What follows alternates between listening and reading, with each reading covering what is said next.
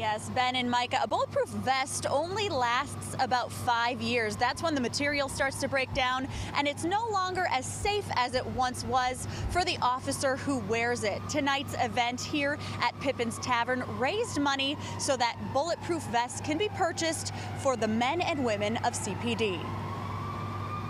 It's a dangerous job, and to wear a protective vest gives them a fighting chance to survive if the worst case scenario does happen and they take a bullet in the course of their job. Second Ward Alderman Brian Hopkins hosted the Get Behind the Vest event tonight. The money raised goes towards protecting the police officers who work to protect Chicago. When a police officer gets on the job, he's given his first vest by the city, so he doesn't have to pay for that. But vests, replacement vests are $500. To offset the costs to officers, the Chicago Police Memorial Foundation started Get Behind the Vest. And we've provided almost 12,000 replacement vests to Chicago police officers, and I think over 70 police officers' lives have been saved since they began wearing bulletproof vests. So that's a lot of husbands, fathers, sons, brothers, and mothers and sisters making it home to their families that wouldn't have if they didn't have one. CPD officers like Sergeant Christopher Shank are now a little safer thanks to the program. This is a vest that they, you know, they helped as far as assistance, as far as getting new vest.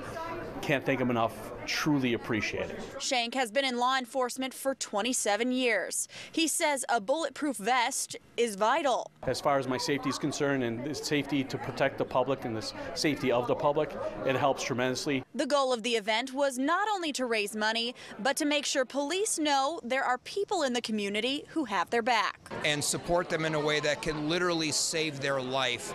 It's really the most important thing we can do to express gratitude. And tonight's Get Behind the Vest event raised around $30,000 for this organization. That's going to allow them to buy around 40 bulletproof vests for CPD.